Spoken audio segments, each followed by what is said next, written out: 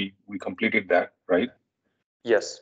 Um, and then so we have all the tools in place, and that's what the Cyrus pipeline, um, you know, the work was as Cyrus pipeline tools.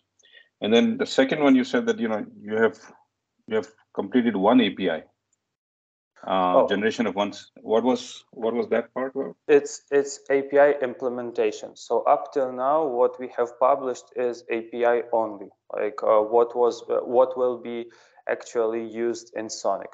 However, in parallel to the SONiC work uh, by the vendors, like each of the vendors needs to uh, provide implementation of those APIs, right? And in parallel to that, we are working on simulation. So as a backend, we are using BMV2 simulator. And our goal is to generate SAI API implementation, which is translation from SAI to P4 runtime to be able to configure the simulator and uh, run it uh, in SONiC. okay, good. So is is that is that generation of the SAI API is also automated? SAI API is already op- uh, automated. Sorry, uh, implementation. I'm sorry. Um, Implementation, uh, as I said, we have a reference which was done manually. Now we are working on automation. Okay. So, so then, then objective is to moving forward, uh, we expect even the implementation of the SAI API, which essentially is the P4 runtime code to be uh, auto-generated, uh, which could run on the BMV2 simulation. Yeah, yeah. So you will have an up-to-date uh, simulation whenever we change P4. Okay. And then we expect even the ones that we have deviated from to also be working on the BMV2? Yeah, uh, like enhancing uh, P4 compiler and BM and both BMV2 uh, to support uh, uh, this piece of code as well. Yeah. Okay. So th- this is in the to-do list uh, in the uh, current toolchain PR. You can take a look at that. Is, is that right? So, Jerry? yeah, M- M- Marion, are you going, um, uh, I know you're familiar with it, but the changes that we're proposing for fragmentation and how to end connections and, um, are you Uh-huh. planning on having that in the P4 runtime m- model in the three weeks? Or what, what are you delivering in three weeks? Uh, so in three weeks, it's only the match action portion, which includes uh, routing plus uh, ACLs. Um, the changes with regards to fragmentations and ARCs, they are related to connection tracking, which is not yet supported by the simulator. So this is another uh, work that we will be doing after we have initial uh, version of uh, all of the layers working. Then we will expand it for the connection tracking as well, and we will include that them. We have, however, the like the reference code, which is not currently compiled for connection tracking. So it's just, uh, let's say, it, it's just uh, there for documentation purposes. So we need to do the work to actually compile it and be able to run this. So uh, somehow we need to get a full schedule to what we're getting and when, because it's uh, it's not much use until we have the full implementation. Um, and it sounds like you're, you're doing a partial implementation for three weeks and then at some point and it, doing more. And I'm just wondering if we need help here. Like this is uh, Yeah, we definitely do, and this is what we were asking for because I cannot parallelize more. So if someone can uh, help with the outstanding items uh, during those three weeks, Mhm. that's something we could use, but uh, uh, that's as much as we can do. We first are focusing on delivering at least something working, and then we will be expanding. Okay, I think, uh, Christina, we need to be looking for volunteers who are willing to actually code. Yeah. So what kind of skill set does someone need to have to help out, Marian? Um, so there, there are two, basically two projects that are involved there. First one is the compiler Uh, so we need to have uh, to be able to um, to dig into the P4 compiler front end. And second one is uh, the simulation tool, which is basically a software switch. So the uh, familiarity with those two would be the most advantageous. Okay, and is there anyone on the call who has that skill set? Just yay or nay? I I do not, Mhm. but um, I mean, I know people who do, and I host a like a public meeting every couple of weeks for p4.org for people that are interested in learning internals of those tools and how they're developed. Okay, So not not an answer, but a maybe a partial lead. um, anyone else on the call have this kind of skill set who might be able to help out? Because I don't know everyone's background. I apologize. Yeah, or, or somebody from your organization that can contribute. In, general, the people with this skill set tend to be people who are paid to do it or who are doctoral students who it's their their graduate research work today. Yeah, well, joining a group like this, uh, we assume the companies are big enough that yes, the people are all paid. I get paid. that's a that's a given. Uh, but you know, it's like in SONiC, like there's lots of people coding, and they're all paid by their companies. I, I really wish to head off the wishful thinking that somebody just might come along and do it for free. You know, if I could, if I had the skill set, I would do it myself, Marian. Well, um, I will clarify, it's just like SONiC. If there's no contribution from the member, then certainly there'd be no, no, uh, um, no way for us to buy from that company, right? You have to contribute. And so just like SONiC, we don't buy a SONiC box from any company that didn't heavily contribute to the coding of SONiC, right? That was like a number one thing in order to be even uh, evaluated. Because when you go to support it, if you're not if you're not familiar with the coding practices and what's in it, how could you ever support it? So um, we should keep that in mind if you're uh, wanting to do business with Microsoft. Um, I can also reach out privately to each company and see if there's Yeah. I, I think I would, um, Christina, because we have to to do that. have, each company needs to have some contributions. Yeah, In I'm this area. With that. Yeah, Are you talking about in the P4 pipeline area, Gerald?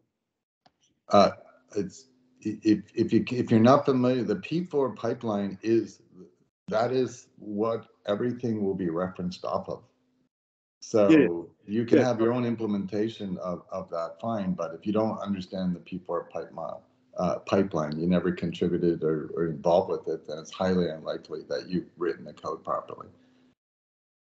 No, I, I got you. No, no. Uh, uh, uh, so you were talking in, in general terms, Yeah. uh, but, but we're really talking about row number seven for making use of P4 pipelines Yeah. Uh, with, That mean that is because remember this DASH doesn't define an implementation. So DASH can only define APIs and behavioral models. I- Uh, and, and so that's what this whole group is about. So I understand. I yeah, we're not asking people to contribute their code because first they wouldn't contribute their code, right? Uh, or at least not today. Uh, so the code that we're producing is the behavioral model, which is uh, uh, built off this uh, P4 behavioral uh, of some sort, whether it's this uh, BM2 or whether it's the the next generation of that. yeah, But that's what this organization is trying to do. uh, right, which is, okay, which is why I spoke up and asked, because this is talking about P4 specifically as opposed to a behavioral model that I could go write, you know, uh, ARM core C code to implement if I really wanted a software version, if I thought there was some better reason for that. I'm not sure there is, but in principle, I could, and I could say, I'm obeying DASH APIs because I wrote some software and tap the packet to that software. I do my thing to them and then send them on their way uh, to But, the. but, but we all agreed at the beginning, we're not doing that. We're only gonna have one set of behavioral models that we're going to do all our testing and baselining off of. We can't have everybody come up with their own. That doesn't help anybody. No, no, no. So, so I'm saying something different, Gerald. Mhm. If if I wrote software where you couldn't tell the difference. I, mean, so again, are we are we defining P4 pipelines with APIs for P4 pipelines? Are we defining behavioral models for functions with APIs to con- configure and control the the model? No, we're, we agreed at the beginning, we're gonna use the P4 pipeline to define behavioral models. We're not, oh, Okay. and APIs and software and the software generation, auto software generation of that behavior. Okay, so that's fair. So Christine, Christina, reach out uh, directly to us. This is um, uh, I, I get I get it now. So Gerald and Christina, reach out directly to to Dell uh, through me, and we'll have a we, we need to have a discussion on part of this. Uh, but got you. I understand. Um, that that answers everything I needed, Gerald. Thank you very much. Yeah, I also just want to make sure there's no, no um, misunderstanding. The actual implementation does not have to be P4. We're only talking about behavioral models, which do need to be P4 based. Got it. That's what I say. So let, yeah, we, yeah, yeah. Okay. No, that's enough. For, that's enough for the, for this meeting. I get the request. Thank you very much for the description. I now understand um, what exactly what you're asking for here on number seven. And I don't know if it, maybe it helped other people too. So thank you very much. I hope it helped everyone else. Um, does anyone else on the call have questions about this? I, I think I want to clarify one thing. I think people should understand, at least what the way I understood from Marianne is that the people that we are looking for is essentially, you know, to work on the P4 compiler, not to really define the P4 model. And right? software switch. and and also the the software simulation tool so there are two things though there are essentially are the, the the framework or the tools or so forth which will allow us to you know be prepared for for this kind of a work here so that you know that's that's that's the skill set that we are really interested in right But why do you, why do, okay, so why is that important for DASH to define? Uh, because the compiler and so on is a per vendor based on their pipeline. So if we're defining No, P4, this is a. No, this no, no, I think the- the for be- yeah, the behavior model. model. yeah Yeah. So the behavior model uh, i guess you know um, joseph that that that we have defined you know especially marianne and nvidia is they, they dev- deviate from the original specification right? Like connection tracking this fragmentation work or any other things that we have defined. So we do need to expand all those tools to, Yeah, to really so- support this one Yeah, so the goal is the tools will be there so that we can just change the P4 behavioral model and then we can spit out the new APIs and and and software that models that. That's the goal of the tools. So in the end, once we have those tools, then we can just modify at will the P4 behavioral model to any discussion that we all agree on. Like this week, we talked about how to close a connection. So at that point, once you have the tools, we can make those changes in P4 and automatically generate those APIs and software uh, behavioral model without somebody trying to handcraft that, or it, it'll it'll come straight from the P4 code itself.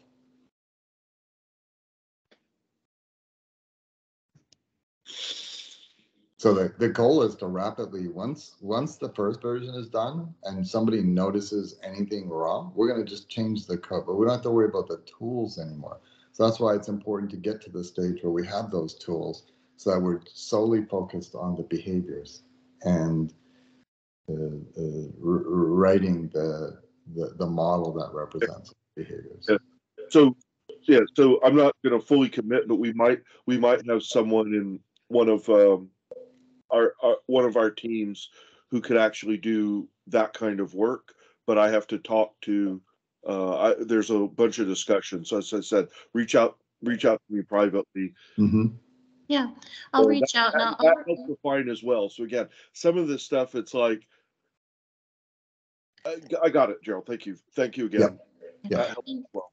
I, I'm getting this figured out. Okay. And Joe, not to put you on the spot, I'll reach out to everybody just to see, you know. Well, I'm saying that I might have, I might be able to free up uh, Mhm. some kind of a time, one to help. Uh, Fantastic. uh, but I'm not committing. No, I Yeah. got you. Because it's complicated, but, but we do have someone who knows how to do this, some of this kind of thing. So, who's done it before. So, okay, thank you. Great, great. Hey, hey, Christina, this is Suresh from Fungible. Um, I don't have P4 experts, but I think I have P- P4 background. So let me, I want to understand what Marian said. So it is one thing to know, understand the P4 as a language to define the pipeline, right? But it's another thing uh, to know the internals of the P4 compiler. So are we looking at, you know, modifications to the compiler or modifications to the pipeline definition? To the Compiler compiler, knowledge may be more niche. for, for the re, for the reason that uh, current standard or of of the P4 language does not cover everything we want to express in the pipeline. uh, we, we need all kind of uh, help here, right? So we need to extend the compiler. This is one thing to do, and maybe since it is it require more per knowledge, uh, Marian, we, we can handle that. Now we need to extend the BMV2 to support all the new functionality like conntrack, uh, fragmentation, and so on. This is an this is uh, purely C++ code, so I, bel I believe we can. It it will be easy, easier to find people that can do that, uh, and we need uh, help. If the community, uh, if people here are willing to help us with uh, translating, uh, creating the translation layer between uh, SAI to P4 P- to PI, which is another area Side to what? To to, to, to PI to P4 runtime, like to to the Oh, oh, okay. language that BMV2 currently understands. It sounds like a good written description of all the begging projects would be helpful. So Yeah, I can expand on that. right. Yeah, I think that's, that's what we need. That way we can start building a schedule around it and understand the scope and who can help and uh, start, uh, you know, uh, assigning people to the different tasks. Uh, right now, it's, it's all in Mellanox, so there's no description because they're doing it all themselves, which won't scale long-term and is not the purpose. Um, so, uh, Maddie, do you sense. think you can take a stab at what, what needs to get done so we can start really probing who can help where? Yes, of course. Uh, Make- we will work together with Mario and actually we will try to break it into kind of a tasks. Mhm. Uh, and Do you want then, Me to help Can- with that, Maddie? Do you want to meet with you, me and Marian to set up? yeah, yeah, we, we can do that. We can do that. Break it into tasks. It can be quite, uh, not a huge one, like a medium sized one, and then people Mhm. can jump in and take some tasks. Mhm, We Okay, we will help you get in order to ramp, to ramp up. I, I really, really believe we need to work as a community and, and, and work together in order to, to accelerate that. I'm pretty good at creating timelines. That's great. Mhm, So I'll, I'll set up some time for us to do that. And then we can present it. Yeah, I think um, in the past, you know, I know that, you know, in SONiC, once you had all the tasks, you could, that, that, that is the key. Because then you can, you can ask for volunteers and they'll volunteer against a task and there'll be names against it and dates. So, yeah, perfect. Mhm, Yeah, okay, great. Um, then what was next this week? Um, we, we've talked at length about the fragment paper and we have one more meeting to close off. Oh, Marian, we did have a question for you yesterday. And uh, I, I don't want to put you on the spot, but John Carney had had a question where he looked into the P4 code and he saw a double encapsulation somewhere. Um, John, can you remember where that was? Um, I, I was just not sure whether there was an appliance encapsulation and then uh, another encapsulation or, or not. I had thought that I had seen that, but I think then yesterday when we looked through the code, we couldn't really find it. So um, I, I'm not sure, but I mean, I guess if you could just answer the question, like, do Yeah. you, do you know of any case where there's a double tunnel? Um, I think I know of one of them, but it's not really a common case. This is what I uh, reviewed with, together with Guohan. Uh, it's when the packet is coming, I guess, from another region. It will go t- uh, through an SLB, and it may have two layers of encapsulation. First Correct. one being left over from the SLB, and 2nd Mhm. one is your VNet VXLAN. Yeah. That's Any- exactly what they were saying yesterday. Yep. Yeah, Yeah, Yeah. I can also So, confirm it. uh, This is the SLB there- traffic. Mhm. Yeah, Michael Yeah. said that there was uh, more than one case like that. Um, so, We guessed right. We guessed correctly. yeah, Sob was one of them. Uh, Mhm. so- Sometimes you want to bounce through uh, a managed NAT or, or something like that. So there, there are cases where you want to bounce through something else before going off. So you need to encapsulate once more. Uh, so that capability definitely has to be there. Yep. So you were Okay. not, you were not um, wrong, John. Okay, all right, thank you. Okay, you're welcome. And um, did, did the, before we move on to HA, did, did the SDN team want to talk about anything today or should we move on?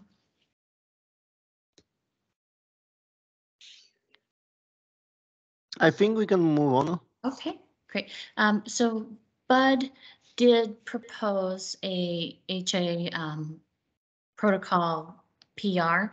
Not sure if anyone had had a chance to take a look. This is basically a description and a set of requirements, right? The, the recent pull request about HA. It's not really a proposal of any protocol yet, but it's it's description. Okay. are you on the line? Um, maybe. Or is there something else? Yeah, this No, is it. that, that's the place to start, guys. So, yeah. Okay, okay. We haven't uh, looked at this. Bud, do you think want I to will go describe through it. kind of what you did here? Sure. Um, so um, I started thinking about the HA um, requirements and um, uh, interactions between the two paired devices and started thinking about what the protocol looked like and the packet formats would look like. And um, so based on that, um, I mean, something that became apparent is that because the communication path between the two devices is not 100% reliable, um, we have to be careful that when you have one of these paired DPUs and you're you are receiving messages from your peer that are telling you to insert entries into your flow table, uh, you have to be careful that you don't wind up in a situation where you are unable to remove those entries. Um, like normally, the peer will tell you to insert a flow entry, and then when it ages it out, it'll tell you to remove that flow entry from your own table, and that's and that's all good. Um, but if the communication path between the two is not 100% reliable, then there's going to be cases where a remove message is sent that from your peer that you don't receive. And so that will create like zombie flow entries and eventually the flow table will fill up with those. So that's that's the Uh, end. sorry, you want Can I to ask you a question? Why do you need to send a remove message? I mean, eh, eh, the other flow table will have a timer as the primary flow table, and we remove an entry exactly on the same principle of a primary flow table. Well, the, the, the, the, the DPU that's receiving the, the packets is constantly updating its timer, right? Whenever a new packet arrives. Um, that, that constant updating isn't happening on the peer. So, so say, say the timeout was like one minute or something like that for the, for a flow. Um, the, the active DPU that's getting that flow, say he's getting, um, like a packet every second. No, I understand, I understand. Yeah. Yeah, it's a good point. A So, good point. so can't you send a refresh every once in a while, the same way you are refreshing the hardware not to delete an entry? Yeah, Yes. and that's basically what, what the proposal is.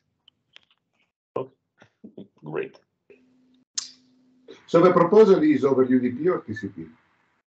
Um, the, the flow messages themselves, I was proposing being UDP.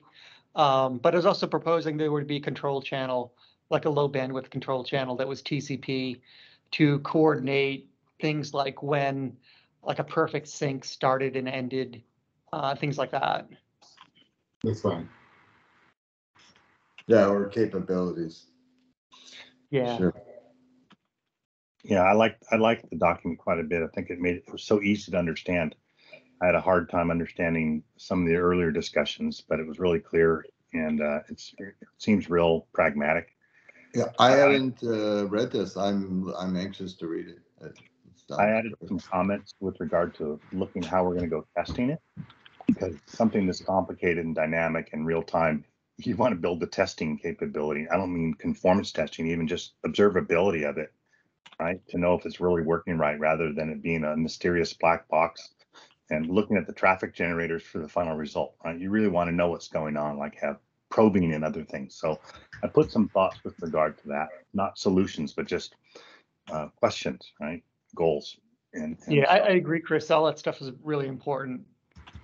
Yeah, I mean, I'm, I started out as a hardware developer, and so everything had test points and probes, right? It's just the way you bring up hardware, and so I end up doing software the same way, even if it's old school. Um, and uh, so that's why I put those thoughts in there, and I want to think about putting together a, a diagram because I think visually and that kind of describes this, and we can have like a reference diagram or architecture that that kind of shows it pictorially, and then we can point at the figure and have things to talk about. I'm going to take a stab at that if that's okay, bud. Sure. That'd be great. That diagram an- go into this document or the original HA document provided by Microsoft Engineering in the, in the markdown file? Are, are we somehow going to combine the two at some point? Maybe, maybe at some point, let them, um, they're talking about an implementation here. Okay. And so it's going, you know, ours was guidance. Let's see Okay. how this goes. Maybe we can do some combination in the future, but really anxious to see what the protocol designers are gonna come up with here. Yeah, I think it's good to have some scratch pad working documents and we can sort it all out, figure out how to Yeah. merge them later, right? Great. Yeah, we're curious to see uh, how the zombie flows. Um, our, our handle, is it going to be event based? Uh, you know, do we need refresh? And uh, yeah, uh, quite a bit of thoughts that we have as well. And just to see this document and we'll post some comments there. Maybe we can take the action that the next time we meet, that everybody has read this document and, and is prepared with questions. Um, I'm not prepared with any questions because I haven't read, but uh, certainly will now I know that it's there. I, I threw out a couple of other provocative ideas in, in my comments, and one is, are we going to need an API to manage the HA algorithm itself? We have a SAI API to manage the data plane, but this is kind of like a controller that's fairly sophisticated, and at some point we may want a management API to it. Like, give me a count of how many active flows there are, or tell me the state of your state machine, or something like that. I, I don't know what the um, the things are that we want to manage, but it brings up that question to me. How do you talk to this controller? How do you observe it? Do we want telemetry coming out of it that's configurable to turn on or off? High fidelity telemetry. Um, I think I had another another point. I'm trying to remember. But those are the kinds of questions I I, I put in the, my uh, comments. Got it. And, and just FYI, guys, I did send a note to the community saying we had this to review. Did everyone receive this? Probably, Christina, I, I just didn't, Email's lot of tough. them, yeah. Email's tough. If there's another way you'd like me to communicate, you know, please let me know. Um, but yeah, it, it should be in your email somewhere, or you can come to the repo. Yeah, I, you know, I appreciate it, Bud. That was really cool of you to submit Mm-hmm. and put out there. yeah. Okay, yeah, and in fact, I mean, we, we have uh, a bunch of thoughts with a lot more detail than this.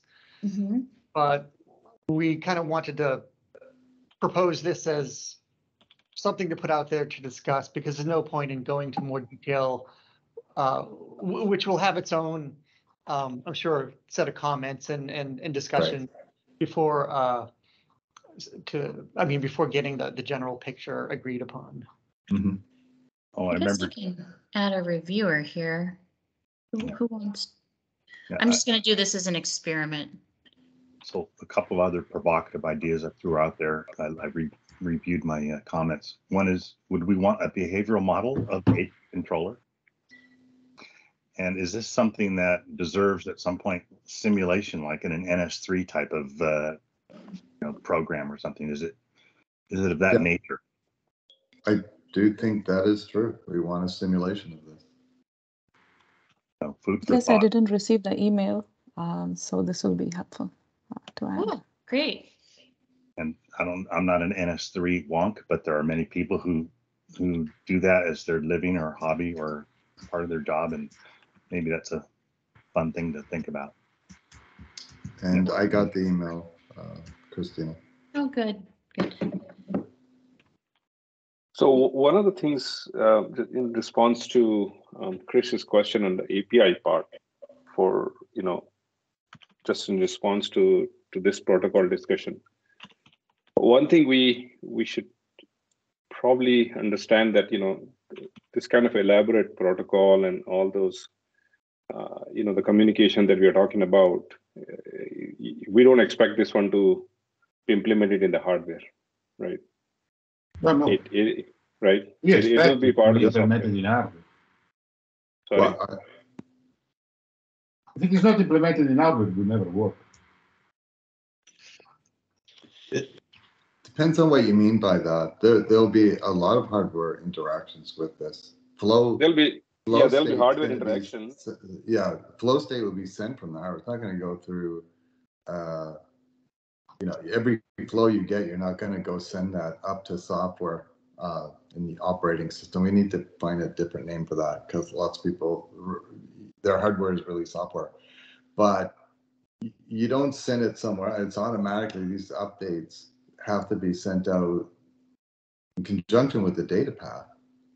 Now, whether there's stuff on top of that to help control it's a different story, but you can't, you can't keep flow state by sending, oh, I'm making a, making a connection, I send it up to the OS who then starts generating messages over to another, like you'd never keep up.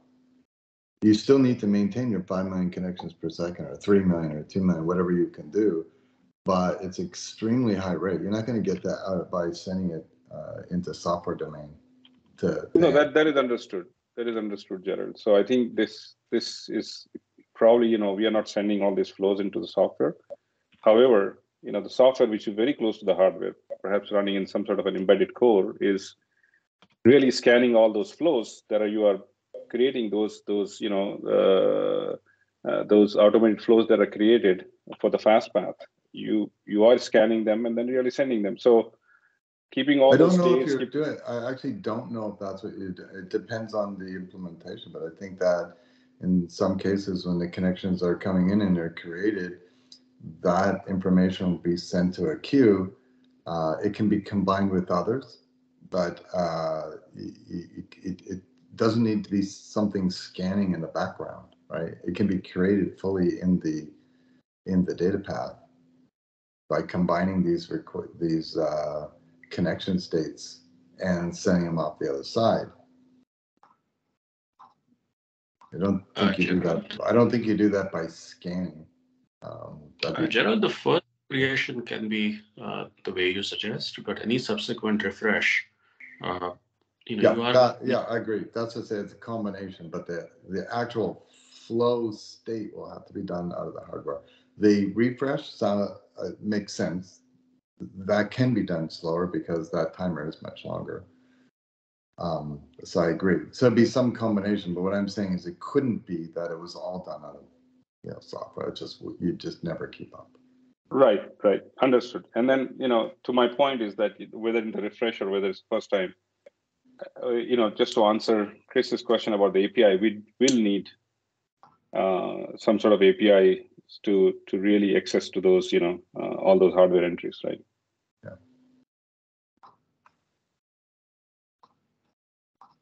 Gonna have to come up with some good names for, uh, fast and slow path for HA.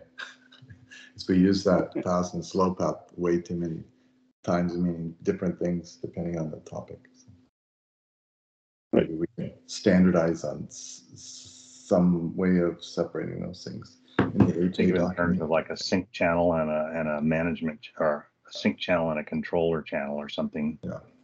Something I mean, I mean, in general, there's, there's performance requirements and then however you implement the covers is let the price per hour performance ratios come out as they may, and that's how you'll decide which ones are worth buying. Yeah, but you know what? A lot of the details, even though, you know, people made that argument with the, uh, hey, it doesn't matter whether we just process um, things uh, fast path only or slow path only or combination. And then when we came to fragmentation, it made a huge difference. I think it's it's it's better that we at least describe it in a in a manner. Uh, how you just how you implement it can be different, but I think that it's pretty obvious here that there is a fast and a slow path to this, or a fast and a control channel to this. And I think it's um, worth outlining. Otherwise, we won't have much to debate on how the corner cases actually exist. So, behavioral models, main goal of the behavioral models is to actually allow us to identify the corner cases so that we can write tests and make sure that they're all covered off. So the the you know we need to make some stand of like what that should look like, and then I don't care how you implement it in the end, but the behavioral model should be something that conceivably could be implemented, uh, not something that is just completely uh, abstract that we never find any corner cases or um, for the for the test cases which we so dearly need. And HA is going to be super complex to test, so we're going to need um, to be um, you, we will need a behavior model for it, and we'll need to describe that. And like I say, how you implement it, okay, sure, go off and do what you want. But the reality is the corner cases, the behavioral model should be good enough that you can identify all the corner cases. Good goal. Uh, Gerald, Mhm. uh, on that uh, thought, I have a question about the interop requirement between vendors. Because, uh, you know, as you said, testing HA is hard. And uh, even if the protocol is public, even if the format is public and the behavior model is something that's standard, there will be cases that don't show up under performance duress. And uh, for example, one implementation might be perfectly okay sending millions of updates to another implementation, uh, which cannot handle that. And so uh, there'll be other differences, like capacities will be different. So I think that I, I, I agree with everybody who's saying it's really like when you mix it, um, things get um, harder. And I think that our first goal is to have uh, one model that that uh, specifies the behavior. And originally, we're going to pair like for like anyways. But what I don't want is never having that ability. And more what I don't want is having no ability to test it. So like I want a, the a way to test it for everyone. And um, whether yours is faster than somebody else's makes it a little bit harder. I think that's fair. That that's that might be a little bit longer uh, goal to mix it, but we have to start with the goal of being able to mix it. Uh, initially, we'll find all the corner cases, write the test plans for it, and we would test, you know, like for like in the beginning until we get enough experience. And then after that, we could test mixes and find out what, you know, the, the potential issues are. And it's typically performance, right? Like there's a lot of, uh, there could be a, a, a big performance difference between one vendor and another. But the critical point is I need to have only one set of test cases that everybody goes through. And your performance is going to be different. We understand that. And um, and initially, you know, I think it's quite reasonable that everybody would um, would deploy uh, HA pairs.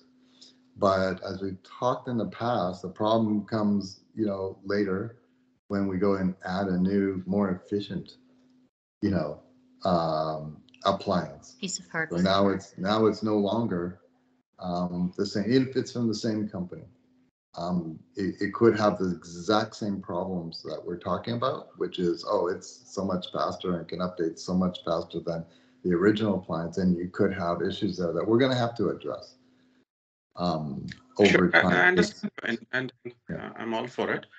Uh, You know, the only comment I would make is that the worst time to find out that you have an interop problem is when you actually require the HA in a operational network. Yeah. Right, and when you have all of these permutations, you create a that matrix of what needs to be tested against what. And that, uh, you know, that may be difficult to do um, prior to your deployment. You will actually find out these corner cases when you are deploying it.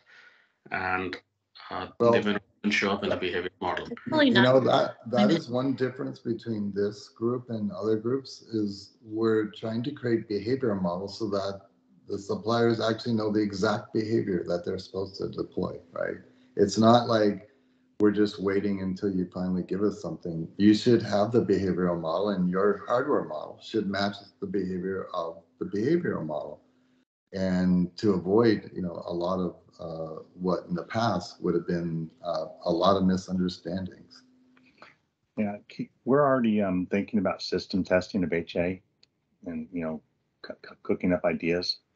And, um, you know, we hope to be ahead of the, the game there in terms of having some ideas for everyone to look at before we can get to that point. And um, another comment is good old plug fests, right? That's how the industry resolves interop problems from a pragmatic point of view. Everyone does their best job of implementing what they think the standard is, but then you hook up different things in a lab and, and watch the sparks fly and, and then go, everyone goes back and retools. So, you know, there's practical and an academic approach to this, and we'll use both. I can say from experience too, you know, I've gone from lab to the staging environment to pre-production pilots out to production and I've found things in production that I sh- that I thought for sure I would catch in the prior three that because of the scale I, I just didn't I just couldn't you know and so hopefully we can catch you know 85% of issues Yeah, I, th- I think everybody right. knows that HA is hard, guys. Like, there's no doubt about it. This is a hard topic. Um, it's going to be the toughest part. Um, we'll get that data path going and, you know, resolved. And I think we're coming to, you know, to an ending on at least describing what should be in the, in the data path for, for the VNet. HA will be much harder. that's Um, why we have the brightest minds here on the call Well, and hopefully some people that work for them that are even brighter. I have a lot of bright people who work for me. So, um, yeah, acknowledge this is, this is tough, but let's, uh, if it wasn't tough, it wouldn't be interesting anyway, so. Right. right. And um, I guess the next topic is, um, I have a draft in almost, actually, it's mostly complete where we're describing um, different customer scenarios and, um, you know, whether whether we're doing an explicit LPM or inserting a firewall between VNets or if we're um, you know, doing default internet traffic one way, but trusting other traffic another way, and or if we're doing private link and doing mappings or routes and things like that. And uh, Michael Miele and I are writing that up, and maybe we'll be able to present that at some point as just like a auxiliary document to look at. Yeah, that's a very important document and some people were on the call yesterday where we talked about it. Mhm. And she's doing the inbound stuff now and has to do, no, outbound stuff now and, and, uh, they need to add the inbound stuff. But yeah, this is gonna be very important and if Mario is, uh, still on the line, like this is not stuff that you had access to before, Mario, because we're just writing it now based on feedback of things that we're missing. And this is going to definitely change the P4 behavior model. Um, because right now the P4 behavioral model is uh, too simplistic on the uh, on the uh, lookup. I think all of us zoom in on the technology and what we're trying to do, but we don't take a step back and pretend we're the customer in front of the portal, portal dot whatever, cloud dot com. Creating the VNets and the VMs and the, the rules and what we want our environment to look like. And that's what we're actually doing is, you know, put yourself in the customer shoes and, you know, how you as a customer want to, you know, configure your environment and route your traffic. And that's what we're doing. And I think we were missing that piece. Uh, is this already there? It looks like you already have a link. Uh, Mm, I have a draft no, PR. I have a draft PR, so yeah, it's not, it's So not. when out. I are we have to going review it- to? I need to review it with Michael Zygmunt uh, to Mhm. make sure it's right or get some feedback. And then Do I'll we- put it out. do So we we've got think eight that, minutes left. Um, any other burning questions this week or? Is is that is that document trying to cover just the first use case of VNet, or are we talking about uh, No, there's more. probably end to? Okay, there's more to that. There's more to it. Okay. But I'm happy. So I with yeah People. yeah the, the reason I was asking is because if at least you know these the current P4 model that I see it, uh, they they are only going as far as basically the first use case is concerned, right? Mm-hmm, mm-hmm. Mm, no, but I think the VNet to VNet even still needs to do this. This, this is, uh, uh, this is required even in the base VNet, the VNet model. It's not, uh, you, you'll have to implement it within that model. It, we couldn't deploy a VNet, for example, without this forwarding table, without these capabilities. Uh, Understood, Gerald. So I think what is going to happen is that essentially there will be the P4 behavior model, which are common across any use case, right? Yeah. And then there will be the ones that are essentially are going to be just are addressing one. So it helps everyone understand what are we targeting and not really get confused in terms of, you know, Yeah, getting pulled across multiple ones. That's what I'm saying, though. This is the forwarding table. This is the common use case. This is the base use case of a VNet. And Okay. so, uh, you know, VNet sometimes has to, um, you know, that packet has to go through a filter before it reaches the other side, or it has to go through a load balancer before it reaches the other side, or it has to go to the internet, be- you know, uh, or it, it's an exception to going out the internet. So it is the base VNet case. And uh, as soon as Christina puts it out, you'll see that we need this in the base case. There's nothing we can do in the base case without the forwarding table uh, having these capabilities. So it's not something for future. It is something that you just need as the base VNet. And it's normal things that any customer would do, you know. It's, it's not rocket science. Yeah, so that, that So actually don't- don't defines get- it. don't Yeah. freak out. Hmm? Right. So that defines another work stream for the community to say Yeah. that, okay, you know, this is something that we need to achieve. We need to achieve a base model to cover this thing, and we need to define the timeline, and then we need to see, okay, now this we have achieved this essentially this behavior model, which is we are saying that it's it's now complete. It addresses it, and then you know we can go from it. Because so far, if people need to look at it that this is still a work in progress, then you know we we we have to really define when we're going to be complete, right? Yep. And, and I do need to review it with Michael as well, make sure, I, I have to take feedback from Michael um, before I put it out, so. Thanks. But uh, anything else? We, we have five minutes left and I do have 10 o'clock today.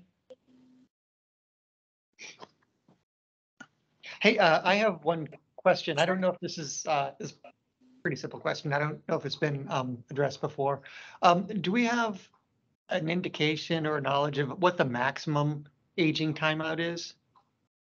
For, Like for, for, uh, like, say TCP flows? Hmm. we could Sure, take it that's as an fair. action. They're quite long, but uh, we could take it as an action. I guess we could look at VFP and see what they do. Yeah, and this is also configurable on the SLB. So for some flows, like for uh, for a SQL, SLB allows to configure this even like 30 minutes, I think. Yeah, Yeah, what do that's you- that's what we're gonna need to know. What is the program? What is that limit though? Is it thirty minutes or twenty-four hours? I hope it's No, not no, it could be- twenty-four hours. No, but it could be anything. So, so Bud, could you explain more of what you're thinking about timeout of TCP flows? I mean, TCP has sort of natural timeouts in the in the specification, and then that can be altered all over the place. You can do all kind of stuff with particular implementations. So what are you thinking and why is that important? I would say like the majority, like ninety-five or eight percent of the traffic is in default ones, right? But there are some scenarios, like for example, SQL has a scenario that uh, the connection to SQL can just last for a very, very long and be idle. And that's why SLB had to introduce configuration of timeout on their flow on maxes to, to, to, to allow us to support it. So from our data plane, we are not ex, uh, expiring the some specific flows for like, uh, I think 30 minutes is the max that right now SLB allows to configure. We'll need to double check on this. That's why the keep alive exists, is to keep. Uh, I agree. However, based on our understanding, customers were complaining that not everything uses Keep Alive and they have it in different clouds and they need it in Azure. Yeah, okay. So you don't use what's in the spec and then you have to hand configure that. That's okay. Got it. Yeah, I mean, it, it all starts from the point of view like like we have it somewhere else and we are not being broken. And uh, here the connection it, drops, right? It's a bug, yeah. Yeah. so some people basically rely on on on the bugs of not supporting like some specific protocol fully, right? And then and then insist that any other cloud right now should support it because one cloud supports it and it's big customers, so Yeah, it happens. so we do it, yeah. Well, let's put it this way. We, we can share that information with you. We found out the hard way. You, instead of you finding out the hard way, um, we can share. Uh, but this is, uh, you know, definitely, you know, a SQL requirement. So, um, that's, you know, we get that kind of experience by offering services, right? And it's like being a Cisco, uh, compliant with Cisco on a router. Uh, If they don't adhere to the standards, too bad. You just need to match it because there's too much of it out there. So just the way it goes. We used to call it uh, bug for bug compatibility, but that's, Hey, Joseph, this is Bud. Uh, so the, the reason I was asking it is, is basically as we scope out internal data structures, like what kind of resolution, what kind of bit size do we need to maintain timer values and things like that? Mhm. Mhm. Okay, well, Got it. I have to run. Um, thank you for your time. And I will come up with some, uh, um, like I said, I'll work with Marion and Maddie to come up with some timelines. I'll reach out to different companies for resources specifically. Joseph, um, of course, I'll always do the notes and, you know, feel free to reach out to me, email, Teams, you know, whatever I can do to be helpful. And, um, I'll see you next week. Thanks a lot. Thank you. All right, I appreciate y'all. Thank you. Bye-bye. Bye-bye. Bye-bye.